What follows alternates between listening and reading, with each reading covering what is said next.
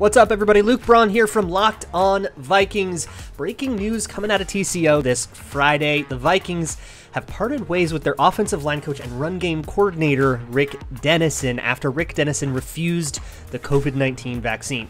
The COVID vaccine is required for all Tier 1 personnel. It's different than with players, where players aren't necessarily required to take the vaccine but would have to go through other protocols and it's more complicated. For Tier 1 staff like coaches, it is required to get the vaccine unless you have a valid religious or medical reason. Apparently, Rick Dennison didn't provide that, and so he has been let go. And that puts the Vikings in a really weird spot headed into training camp. They promote Phil Rauscher, the assistant offensive line coach, to be the full time offensive line coach, but they are also going through a period of transition between the elder Kubiak to the younger Kubiak to Klint Kubiak, and they were really relying on the experience and wisdom of Rick Dennison to help bridge that gap. So now the offensive staff is a lot less experienced and a little bit younger, and even though Rick Dennison was not the most popular guy in Minnesota, the offensive line coach never is when the offensive line doesn't perform very well. This is going to be a challenge for the Vikings to have to overcome, adding to more coaching turmoil on the offensive side of the ball following Gary Kubiak's retirement earlier this year.